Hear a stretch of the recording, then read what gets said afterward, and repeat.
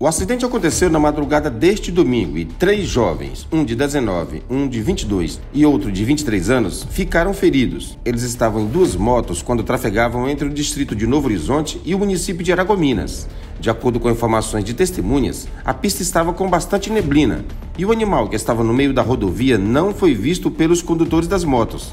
Devido ao forte impacto, o animal morreu no local.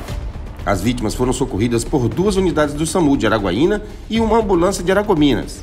Elas foram encaminhadas para o Hospital Regional de Araguaína e para a unidade de pronto atendimento. O motociclista de 19 anos, que era piloto de uma das motos, sofreu ferimentos e uma suposta fratura no braço esquerdo. Já o outro motociclista de 22 anos e o passageiro de 23 tiveram ferimentos leves nos braços e nas pernas.